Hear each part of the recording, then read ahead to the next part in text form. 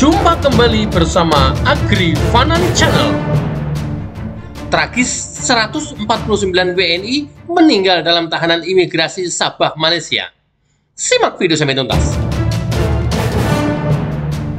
Data memilukan diungkap Koalisi Buruh Migran Berdaulat atau KBMB tentang warga negara Indonesia di Sabah, Malaysia. KBMB mengklaim total ada 149 WNI telah meninggal dunia di lima depot tahanan imigrasi DTI di Sabah, Malaysia. Kasus kematian di dalam pusat tahanan imigrasi terjadi terus-menerus.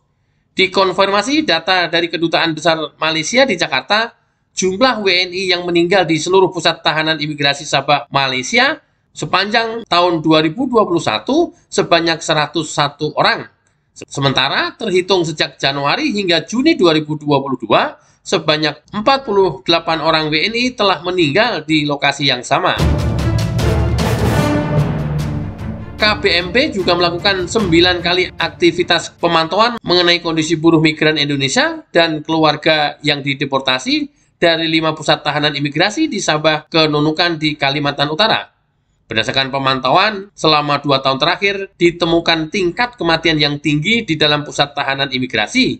Demikian pernyataan resmi KBMB seperti dilansir FIFA Senin 27 Juni 2022. Melalui berbagai wawancara, KBMB juga menemukan fakta bahwa seluruh depot tahanan imigrasi di Sabah, Malaysia dengan sengaja menelentarakan tahanan yang sakit mereka juga tidak menyediakan pelayanan kesehatan tepat waktu sehingga menyebabkan penyakit tahanan berkembang dan berakibat fatal.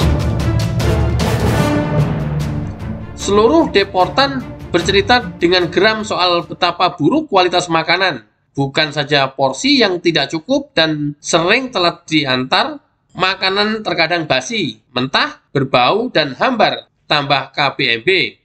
Kondisi buruk itu membuat tahanan dengan cepat berubah menjadi pasien. Namun, seluruh pusat tahanan imigrasi di Sabah, Malaysia gagal menyediakan pemeriksaan dan pelayanan kesehatan dasar.